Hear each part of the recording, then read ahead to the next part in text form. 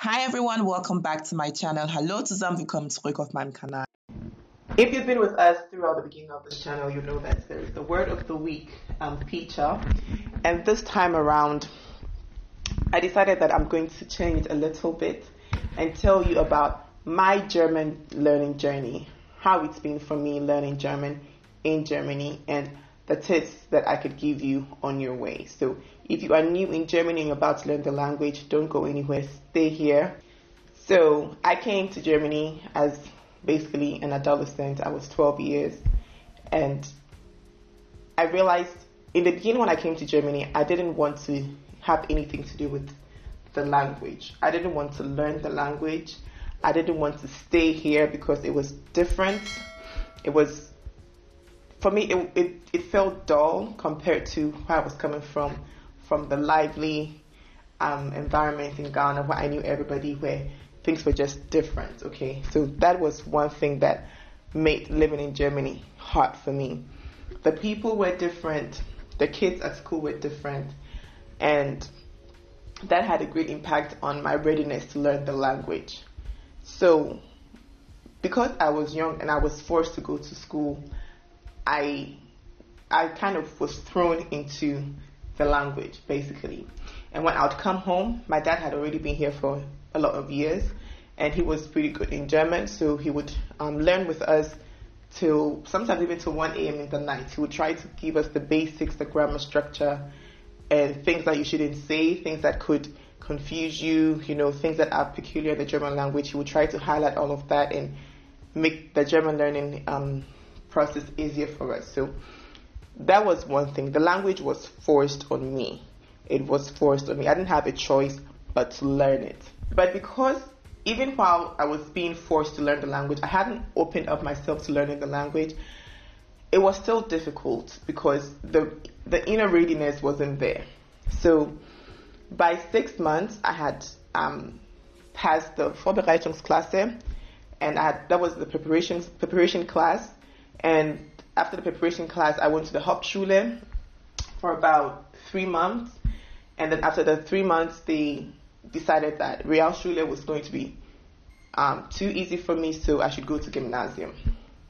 That was when the readiness started kicking in, and when I started realizing that okay, I need to perform. I need to, if I want to be in gymnasium, I want to stay in gymnasium. I need to make sure my language was top notch. So in my case, I didn't do A1, A2, B1, B2. No, I was just thrown into because I was a child, right? Now, let's talk about the readiness. So I'm now in gymnasium. I'm interacting with um, children my age. I'm interacting with teachers and all of that. And mind you, I understand the basic things, but when it comes to the technical aspect of the subject that we are dealing with, I'm not understanding it. So when it came to German literature, I struggled. I struggled a lot because up until that time, I was also holding on to the English language so I wouldn't forget anything. Because I had seen that some of my cousins who had um, traveled before me, maybe a year before me to Italy or other countries that weren't speaking English, that their English most of the time was awful. That they had totally traded English for be it Italian or whatever language that they were supposed to learn where they were. So English was a language that I loved and I had no one to give up. One thing that helped was that after the first year, I was then introduced to a language that I could learn. Um, so we're supposed to start learning different languages. So people took French and I took ancient Latin. That was one of the best decisions I did for myself because ancient Latin forced me to to really delve into the German language grammar system, grammar grammar system. So ancient Latin also has the cases, just like German. Um, it also has all the tenses, and even more than the German language has today. German language used to have it, but now it doesn't have all of those anymore. And some of them has the cases where Latin had ablative, and German didn't have ablative anymore. But it kind of started making sense to me why I had to, you know, learn that. So that helped a lot for me to um, practice my grammar structure, and that actually is what made me know that hey, I'm good with languages, and it has helped me today in my career as well with translations because the ancient Latin was just translating things from ancient Latin to German. So that helped me to get off a bit from the English track. And of course, there was we're doing English in school, so I wasn't always um, lost. I didn't lose English completely. Obviously, now I'm speaking English, but it was a conscious decision. It was a conscious decision. So I basically learned two languages at the same time.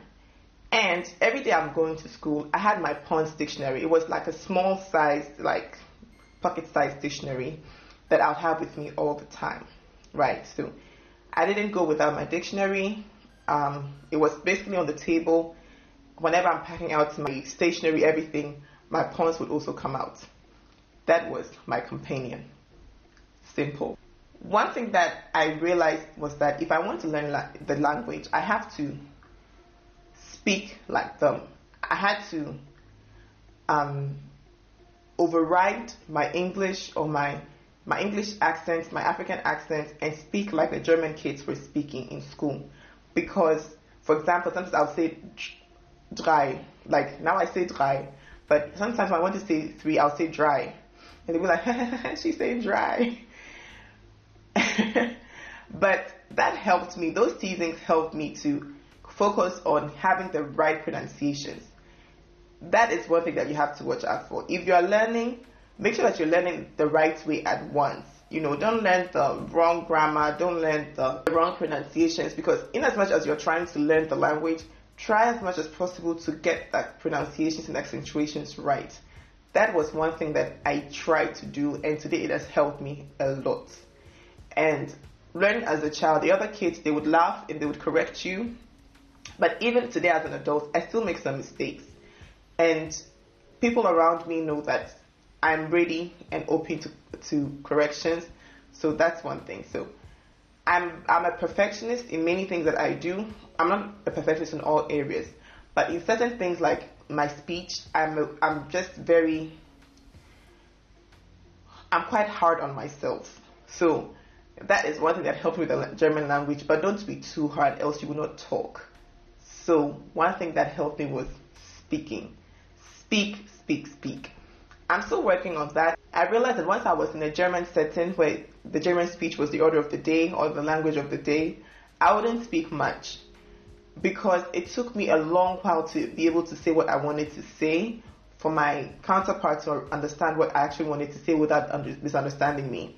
So I'd rather just be quiet and listen. And sometimes me listening or me being quiet was not me being arrogant, but it was just me trying to absorb all the special slangs that were being spoken around me.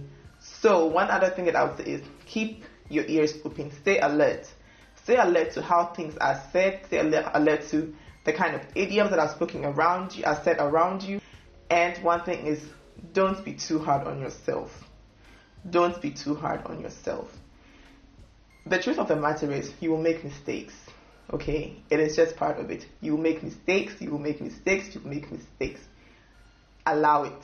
Laugh over them and try to keep them in your head and to be open to criticism. So if somebody is telling you how it's supposed to be said, trust me, just accept it and try to um, integrate that into your speech, into your writing. How my German got better with time was I did a lot of reading. That helped me because I'm somebody who loves reading. Reading is one of my hobbies. And I read from in my leisure and I read also for work. And I try as much as possible to read, even today, like I try to read a novel. Maybe it can take me months to finish. At least I've read a page or two, and I try to pick out something new. I've realized that I'm not able to read all the time, so I listen to audiobooks. I listen to audiobooks, and one thing the audiobook does for you is that after some time you've read a lot, and sometimes you don't even know how those words are pronounced, right? So you don't know where the accentuation is. And when you listen to the audiobook, you would hear the word and be like, ah, I know it from somewhere. You will realize how it's being pronounced, you realize how it's being used, and sometimes because of the context that the word is pronounced or is said in, in the story or whatever, you realize you have an idea of what it's supposed to mean. So consciously build vocabulary, and that can only be done through reading. So if you're in a setting whereby your native tongue is being spoken all around you in Germany, try as much as possible to listen to German radio. That's where you hear the slangs and all of that. So when somebody says something to you on the street, you know what to say or what is meant by that. You watch TV, watch news in German, and then watch it again in your language so you know what is going on if you're not too sure. And if, thank God these days they have the Mediathek. so you can watch everything with subtitles. You can watch the news with subtitles. Just activate that. And I, I normally watch it on the first channel, so ARD, and I use subtitles sometimes. Yes, up to today I still use subtitles because I want to. Sometimes the the interviews go too fast, and I want to be able to understand what they said exactly, and I want to read along. So sometimes I do I do that. I I watch news with subtitles, and it helps me. It helps me feel yes, I'm doing something for my German. Allocate time to maybe just 15 minutes a day to listen to something German, to read something German, to speak German. Do that. Today, the apps that have helped me are still helping me. My number one is Linguee, Linguee app. Um, back then, I also used to use OWAD, one word a day. Now, one word a day is actually for getting an English word each day. But what they do is that they explain the etymology of the English word and then they tell you the German meaning. And sometimes, as a bonus, you get to know what what is the difference between the German meaning and the English meaning and um, the antonyms and you know the words that are similar but actually have different meanings that ha- are in, la- in relation to the words that are similar but have different meanings but are in relation to your particular word of the day. So OWAD is great. Sign up for one word a day if you can and download the Linguee app on your phone. Pons as well and Duden. Duden is your friend if you're not sure of how things are spelled, the grammar setup. Yeah, try Duden as well. So, today I'm going to give you true friends that are words that are similar in English and in German that are going to make your German learning process easy and to encourage you to just be ready. Just open yourself, have that readiness to learn, and that is the main part. Once I was ready to learn, I was ready to perform things came easier to me and it's a learning process. Let's start with the true friends. Number one, blind, blind. Blind, blind. Blind, blind. Easy, right?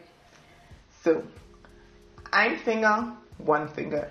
Zwei Finger, two fingers. Finger, same. In fact, let's go to the next one. Hand, hand. Die Hand, the hand. Die Hand, the hand. Easy. So, Hunger. Der Hunger, Hunger. Plus, plus. Plus, plus. And we use it the same way. Eins plus eins is zwei. One plus one is two. And this is for you if you're new. So, how to pronounce the W in German. Wild, wild. Wild, wild. Warm, another one is warm, warm. Warm, warm. So, guys, these are a few words for you to know that it is doable. And one thing I forgot to say is that try as much as possible to think in German. In German, what you see is what you get. The pronunciation rules are always the same. And once you learn those basic rules, you just apply to the rest of the words, unless it's a foreign word. But in German, you usually things stay as they are, unlike in English. So illusion is illusion. Illusion is illusion. So guys, you've come to the end of today's video. Thank you so much for sticking with me. If you have not yet subscribed, you should because on Sunday I'm coming to you with a great topic and next Wednesday I'm meeting you with a new topic on life in Germany as well. Our upload days are Sundays and Wednesdays. So yes, activate your bell button, like, comment, and share. Let everybody know this channel is active and we are putting out great content. Thank you so much for sticking with me. Vielen Dank, dass ihr heute dabei wart. Bis zum nächsten Mal. Bleibt gesund, haltet Abstand, Maske auf. Wear your mask, keep your distance, stay healthy, stay safe. See you next time. Bye. Tschüss.